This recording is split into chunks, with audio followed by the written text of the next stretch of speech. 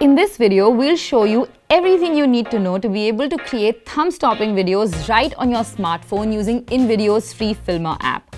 Now don't worry if you're completely new to Filmr or video editing in general because this is a beginner's tutorial that will cover all of the features of the Filmr app and show you how to edit a video from start to finish in 8 easy steps.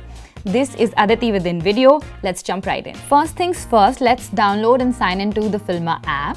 You can download the app from the App Store or the Google Play Store.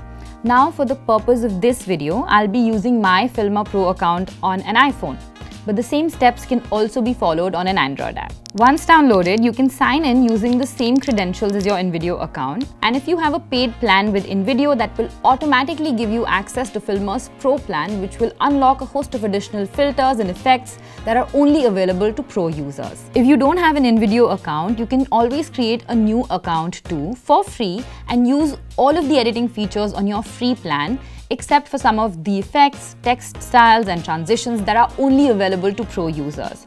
If later on you feel like you need some of these features, you can always upgrade for as low as $2 per week. Now once you've signed in, you will see two options to import footage. You can either click on camera to shoot footage on the Filmr app itself or you can import it from your phone's gallery. If you shoot on the app itself, you can shoot in slow motion, fast speed or even loop it if needed.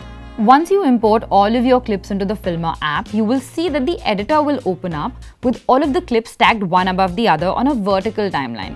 This is actually one of the coolest features about this app. It's one of the only apps to have a vertical timeline built for a mobile phone screen as opposed to horizontal timelines on other apps that are better suited for desktop.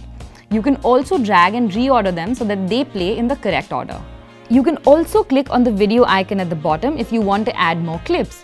And that takes care of our first step, which is to get all of the media we want onto the app and get it in the order we want. Now let's look at the second step, which is to select the right format. You will be able to set the orientation for your video depending on the platform that you want to publish your video on. And once you select the same, you will see that your main edit canvas will change to that format. And if you have any clips that are not in the same format, you will see these black bars added to them. You can use the crop function on the screen to zoom into each clip and make sure they're optimized for the platform that you're going to post these on. And you can also leave the black bars as is for a particular clip if you want to include the entire clip without cropping it in any way. Now that all of our clips are in the right order and duration, let's fine tune our clips and lock in our visuals. You can also access a host of other editing features by clicking on the three dots next to each clip. From here, you can copy a clip and make a duplicate of the clip to use it more than once in the project. You can also make the clip fast or slow with the speed option. It also has other options like rotate, split and delete.